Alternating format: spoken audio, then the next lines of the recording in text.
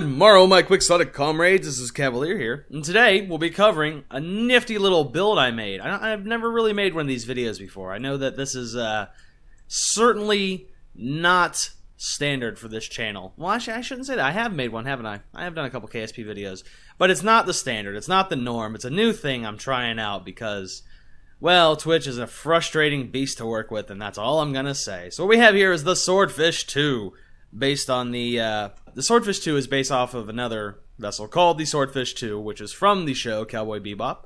It is uh, the main aircraft of one of the lead characters, Spike Spiegel. Used to be a racer, super awesome. Glad I'm doing fictional aircraft history.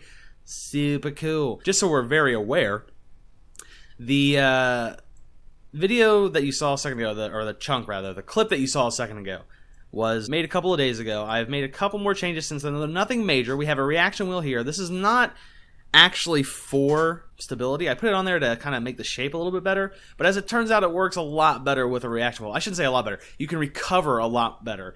Um, it still pretty much has the same roll rates and the same pitch authority, same yaw authority. It's it's it's it's not it's not helping a lot of that out. It's helping a lot of the stall characteristics. Uh, which this thing has a lot of stall characteristics. I should forewarn you. All that aside, I, I think that's that's enough of the history. Let's just launch things. So as it stands, all we really have to do, we don't have to change this over to wet. We can run it on dry, which really surprises the hell out of me. We don't even have to throttle up. We just hit T, the SAS going, launch that bitch. Um, I will say for the staging, there's one issue you gotta be careful of is the fairing here. You can blow it. There's no way that I know of to turn that off. Although if there is, feel free to turn it off and let me know. That'd be awesome.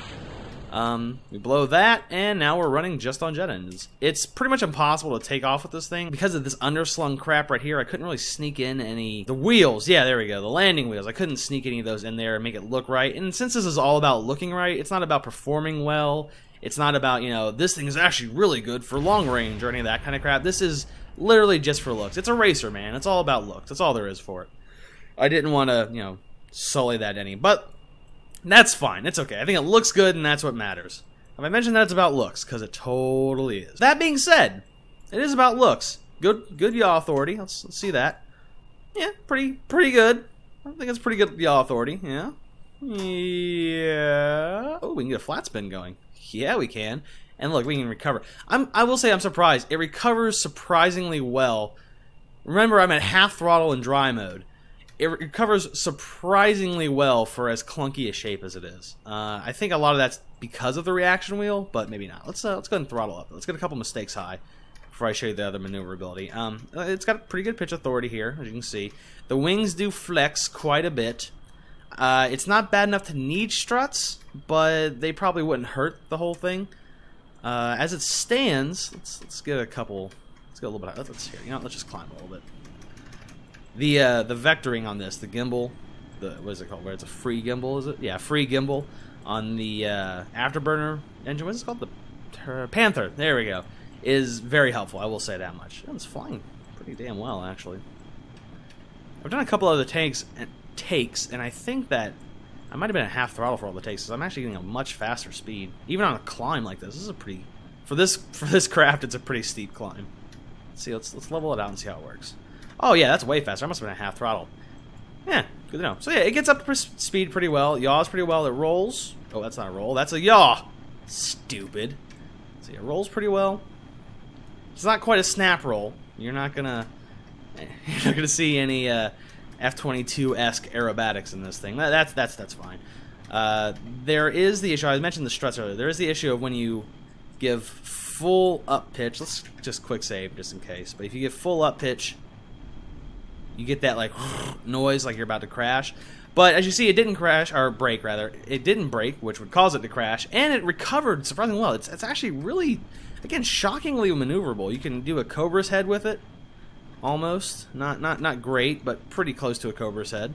I was not paying attention to leveling off. That's why it didn't. Let's let's. It's rather than looking at the smoke trail. Let's try to just do it the right way. We just we cut hard, pull back, and then you flop forward yeah. Well, that wasn't great, was it? it's not a powerhouse, man. I don't know. What do you want? It's a cool looking spaceship, and that's what matters. That's all that matters. Ooh, yeah, that is. Look at oh, look at all that matters right there. That's so good. Halorf is not terribly excited about this whole prospect of flying this thing. That's fine. So, uh, the last bit of information I should cover is you'll notice, as I mentioned also, that uh, there's no landing gear. So how do we land this thing? Well, it's a swordfish. Where do the swordfish go? In the sea. So let's go ahead and land this thing. Um, wasn't by a design, like I didn't intentionally design it to be so, but it can actually land in the water at pretty high speeds. Let's quick save anyway. It can land at a pretty high speed. The highest I've gotten it up to is I think 60 ms which is you know it's not bad. You know, I think if I hit the water at 60 ms, I probably wouldn't feel as good as this ship seems to feel afterwards. But yeah, you just come in, you flare out. Let's try her at 80, eh, 75 maybe, maybe not, maybe down to 70. Well, let's just land it. Let's see how it goes. Yeah, 60. Here we go. Boom. Yeah, nice. I really like this aspect because in the uh, anime, a lot of the ships, I think the ships almost always land in water, and it's just such a cool look. I don't know. But anyway, guys, that's the uh, Swordfish 2, or Swordfish II if you're stupid and don't know Roman numerals. And uh, I'll see you around next time.